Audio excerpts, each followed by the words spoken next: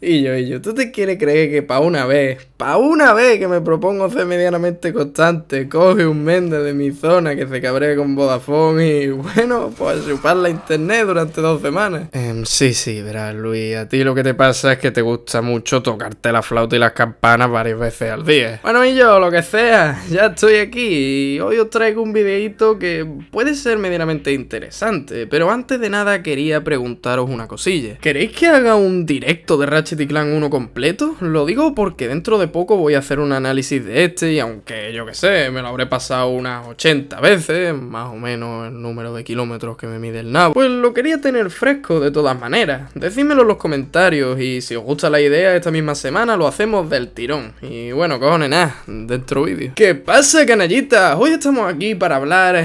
¿De quién va a hacer? ¿De quién va a hacer? Podermenda este otra vez, aunque más concretamente de su nuevo juego. Y es que realmente todos estamos muy hypeados con este. Pero creo que hay que tener cuidado con estas emociones porque luego llegan... ¿Cómo decirlo? Defecaciones un poco gordas. Crash 4, por ejemplo, sale dentro de nada, sí, pero se ha enseñado tanto que ya se sabe muy bien cómo va a ser el juego. Y bueno, sí, entiendo que Insomnia quiera guardar un poco el misticismo para sorprender a los fans, pero es que hasta ahora solo tenemos un gameplay que parece más bien del tutorial. No me malentendáis, yo soy el primero que quiere que este juego sea increíble y por eso deseo con todo mi alma que la mayoría de conceptos de esta lista, completamente personal, se cumplan. Y el primero de estos deseos es la exploración. Ratchet Clank nació con una idea de entrar a lo desconocido y conocer nuevos lugares, y esto se veía muy reforzado con la idea de los múltiples caminos, principales, secundarios y ocultos, que o bien expandían la historia o bien te recompensaban con algo que te sería de utilidad más adelante en el juego. Si bien estos caminos son mayormente lineales para así tener más controlado el diseño de nivel, el hecho de que hubiera varios en cada planeta y de que estuviesen distribuidos de forma medianamente orgánica y creíble, sumado a que cada uno de estos presentaban retos diferentes de todo tipo, solo fomentaban las ganas de explorar. Ganas que incrementaban con las ubicaciones muy imaginativas de los gitones de oro o de titanio en su segunda entrega. Y sí, sé que los gitones de oro han estado presentes en toda la saga, pero la exploración decayó muchísimo del segundo juego en adelante, ya que el número de caminos y por tanto localizaciones que podían haber en cada planeta fueron disminuyendo casi de forma radical a partir de Ratchet y Clank 3. Aunque debo darle un punto atrapados en el tiempo por dejarte llevar la nave a tu antojo por el espacio y poder acceder a lunas espaciales o misiones secundarias que a pesar de pecar de algo repetitiva ya es un gran avance frente a una simple pantalla de carga mientras viajamos de planeta en planeta. Si fusionásemos ambas cosas, la exploración en nave y fuera de la misma, creo que tendríamos ya un gran motivo de peso para ilusionarnos aún más con este juego y tengo esperanza de que esta casilla pueda rellenarse, de hecho no lo veo muy descabellado ya que el último juego de la saga es el reboot del primer título. Y al tener el diseño de este está cargado de múltiples caminos, así que igual han recordado lo importante y característico que era este apartado antaño en la saga. También que añadan los puntos de habilidad que por algún motivo quitaron en el reboot de PS4 y que lo único que hacían era fomentar aún más este punto. Por cierto, ¿os acordáis de lo que nos encontrábamos en esos caminos además de herramientas y artilugios? Personajes secundarios. En los últimos juegos de la saga también hay muy buenos personajes secundarios, pero distribuidos de diferentes formas, ya que suelen ser menos pero más importantes y con más apariciones dentro de la historia. Y ojo, esto me gusta ya que aumenta el número de giros que puede tener la trama en cada planeta, pero falta algo. En los dos primeros títulos casi cada planeta tenía personajes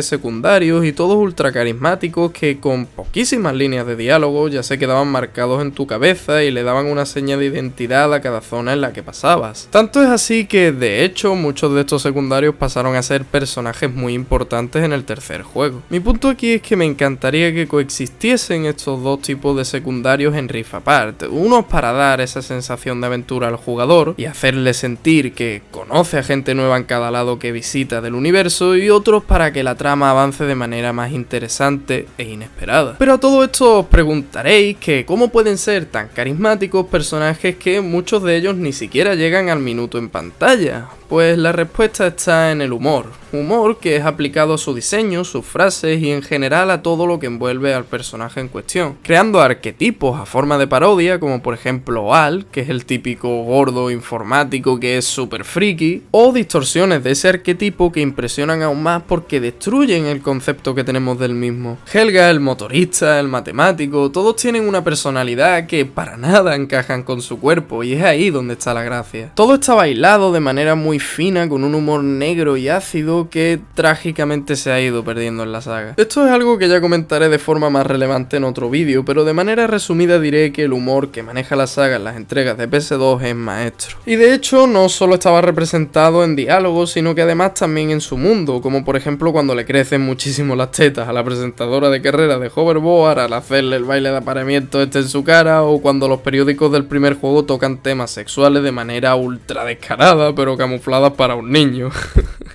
Qué cabroncete los desarrolladores. El siguiente punto es vital y es que esta saga destaca mucho por ello, las armas y los artilugios. Sinceramente no debería de haber un problema en este apartado ya que normalmente le suelen meter mucha imaginación, pero sí que creo que en la saga Future los artilugios perdieron algo de fuelle. También es que poco a poco la saga ha ido siendo menos plataformera y por tanto ha ido minimizando el uso de estos aparatos o gimmicks secundarios y con gimmicks también puedo incluir algunas jugabilidades que se han ido olvidando como las carreras o clan gigante. Aún así no me puedo quejar demasiado en este punto porque todos los juegos han tenido algún artilugio característico como las botas de atrapados en el tiempo con su gran verticalidad o la mejora de las botas magnéticas y los láseres que creaban caminos entre paredes en Nexus, pero de todas formas que le den al coco. Y en cuanto a las armas, prácticamente todos los juegos tienen armas muy únicas y divertidas, pero ya les ha dado más de una vez por reciclar y ojo, no está mal que te vendan armas antiguas en un punto de venta secundario que lo único que haga sea añadir contenido y que no opaque a esas armas principales. Pero de nuevo en PS3 se pasaron esto por el forro los cojones y es que alguna que otra vez hemos visto armas antiguas que sustituían lo que podría ser un modelo nuevo. Aún así donde destaca más esto es en el reboot de PS4 donde el 80% de las armas son antiguas y lo podría haber entendido si las armas proviniesen del juego al que hacían honor, que era el primero, pero es que ni eso. Cogieron los modelos más recientes y por tanto los que menos retoques necesitaban, tanto en disparos como en el propio modelo en sí y ¡ala! Todas para adentro. De todas formas, las armas que han presentado hasta ahora me gustan. La pistola es a ráfagas y cuanto más disparen más aumenta su cadencia, pero más se abre la mira dificultando el apuntado y haciendo un perfecto equilibrio entre potencia y cuidado. Las torretas son muy imaginativas visualmente, que los enemigos se envuelvan en las raíces de plantas mola bastante. Y podremos jugar con ese estuneo, diferenciándose de las típicas torretas de otros juegos. La escopeta tiene mucha potencia y además esta potencia se ve incrementada por los dos disparos que realiza, pero también incita a que por este gasto de munición busquemos el lugar y momento adecuado para disparar. Y bueno, la bomba pues son bombas, ¿qué quiere que te diga, hermano? Si a todo esto le añades el raritanio típico o algo como las modificaciones constructo y personalización como la de Atrapados en el Tiempo quedaría niquelado. Y por último, por favor, una historia interesante y que aporte algo a su universo. La gente está muy hypeada con la historia de este juego porque va a continuar a Nexus, pero a pesar del tono oscuro que maneja este último, no me parece que tenga una gran historia ni muchísimo menos. De hecho, desde mi punto de vista llevamos sin ver una gran historia en esta saga desde el 2009 y la última que nos han traído en el reboot es demasiado infantil y plana. Historias como las del 1 Gladiator, Armados hasta los dientes o Atrapados en el tiempo es lo que busco, todas interesantes y con desarrollo de personajes, momentos memorables y aportación al universo general de la trama. Sé que todos queremos que este apartado en concreto nos deje con el culo torcido, pero ahora hablando en serio hay que ir con mucho cuidado. Sé que esta mujer, por todo lo que implica, nos tiene en vilo, pero ya han habido tráiler impresionantes en juegos decepcionantes, no sería ni la primera ni la última vez. El hype no es que sea malo, pero puede ser un arma de doble filo si te esperas tantísimo de un producto del que prácticamente no sabemos nada. Así que ya sabéis, chavales, guardia alta, que puede pasar de todo. Y nada, canallitas, hasta aquí llegaría el vídeo. Si os ha gustado o os gusta Ratchet y Clan, suscribiros que voy a seguir subiendo contenido de esta saga. Dejadme también vuestra lista de deseos en los comentarios y no os olvidéis de decirme si queréis que haga el directillo de Ratchet 1. Y eso, hermano, que adiós.